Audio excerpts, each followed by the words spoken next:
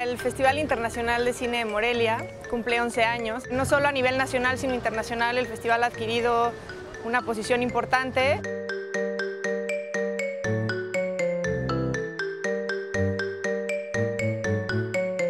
Es un festival que apoya a los nuevos talentos del cine mexicano.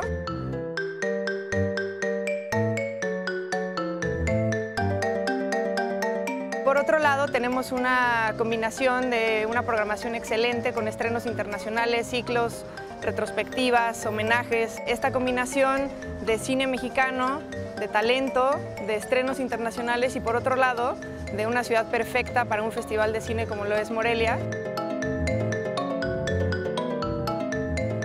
Los que aspiramos a, a, como cine independiente, me pareció motivador el festival. Es una oportunidad de ver diferentes cosas a lo que estamos acostumbrados. Vi cosas muy interesantes. Me gusta que hay como una diversidad de títulos, tanto de cine nacional como de cine internacional. Te encuentras como un buen de gente que le gusta el cine tanto como a ti. Yo creo que a Morelia le hace mucha falta que se exhiban este tipo de películas más que las de siempre.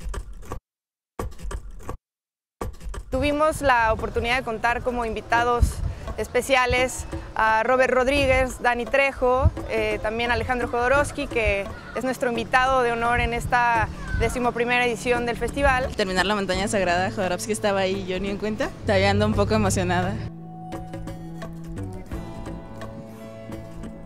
La conferencia magistral de Alejandro Jodorowsky fue un evento excepcional. La verdad es que yo a nivel personal te puedo decir que no había visto una conferencia magistral de, de, este calibre en el festival y conforme fueron pasando los días y veíamos la cantidad de expectativa que tenía esta conferencia, decidimos pasarlo al Teatro Morelos, que tiene una capacidad aproximada de 1.400 personas.